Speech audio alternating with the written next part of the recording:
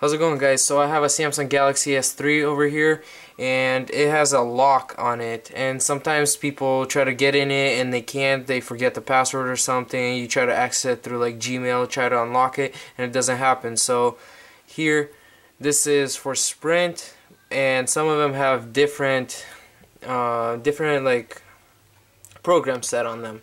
So this one I'm not exactly sure which one it is but I'm uh, I'm gonna show you guys how to unlock this. So see it's locked. I can't get into it. You get like so many tries before. It gives you like 30 seconds before you have to try again. And then after that it gives you a couple minutes. And then you have to try it again in a few minutes. And then it completely locks your phone. So I don't know the passcode on here which I purposely locked to show you guys how to unlock it. There's no way to bypass this and keep like all your information uh, like all your photos and everything there's only like a factory reset unlock which you'll still be able to use the phone afterwards but it'll erase everything like all your contacts all your photos videos everything. It'll it's completely resets your phone. So what you want to do in case you can't get into your phone and you need to use this phone because it's a couple hundred dollars what you do is you open it up pull the battery out put it back in and then this basically just uh, turns off your phone completely. And you need it off completely. In case you have it on you can just do a power off like from the side. But I just did it with the battery because it completely re resets the phone. So what you want to do click on the volume button the up button hold that. Hit the home button hold that. And then you want to hit your power button and then hold that so your phone will vibrate like once. As soon as you see that blue icon up there, let go of your power button. Keep on holding uh, home button and uh, your power button.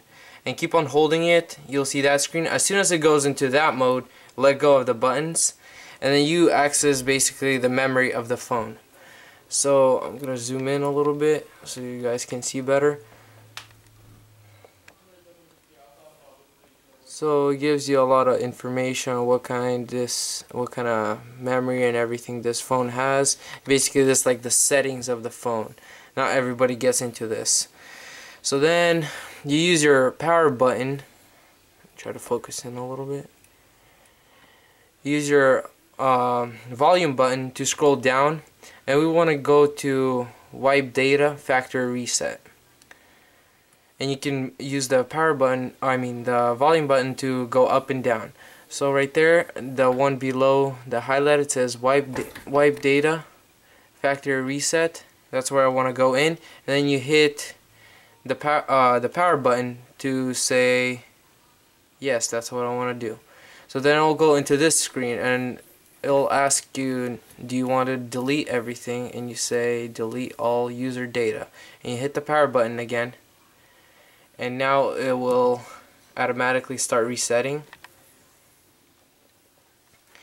And you have to give it some time. Give it a couple minutes and it'll automatically start. Okay and then it pops into this menu.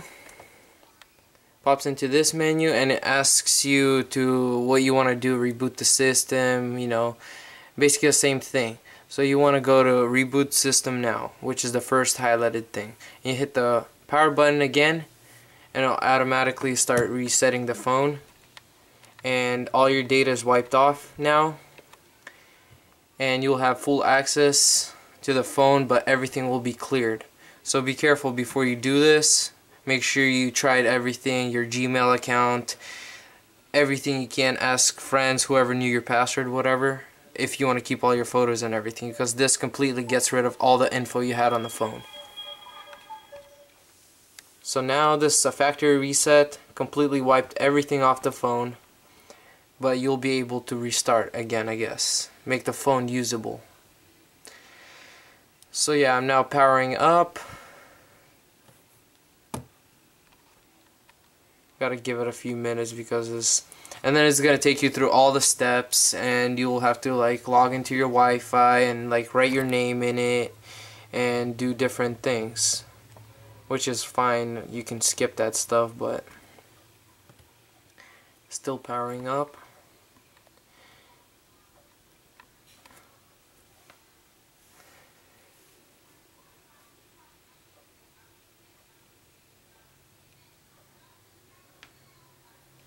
thanks a lot for watching. Um, I also have another video on Samsung Galaxy S3 how to fa uh, factory. Well, it's not really a factory unlock, but it's an unlock. Like if you want to switch from AT&T to T-Mobile or whatever, like you want to use a different carrier, you can watch my video and I show you in steps how to do that.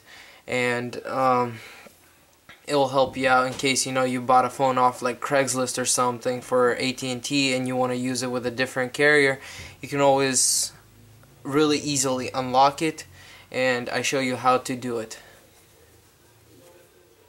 So see it, it takes a couple minutes for the phone to reboot but as soon as it does it'll take you through all the steps and it's basically like getting a phone out of the box when you buy it from a carrier store like T-Mobile or AT&T or Sprint like I have here.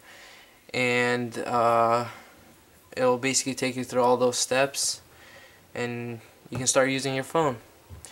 Thanks a lot for watching again. I hope you this video was good for you. Leave comments thumbs up and thanks again